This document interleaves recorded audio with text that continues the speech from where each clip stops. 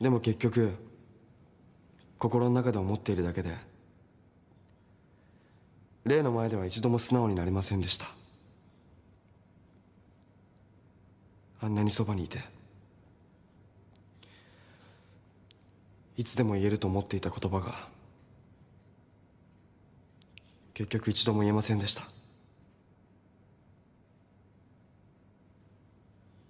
たった一言が一度も言えませんでした。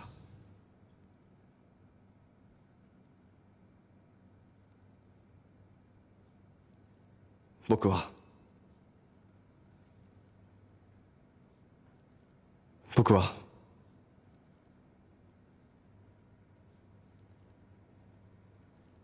例のことが好きでした。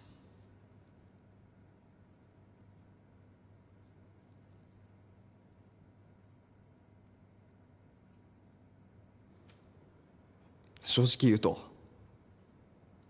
今でも例のことが好きです。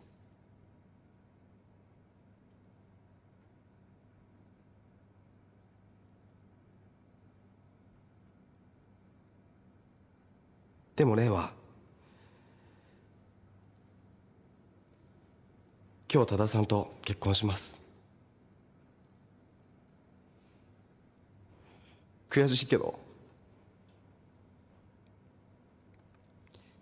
結婚してしまいます。例の存在は僕の中ですごく大きかったから。この言葉にたどり着くまでに随分時間がかかってしまいました。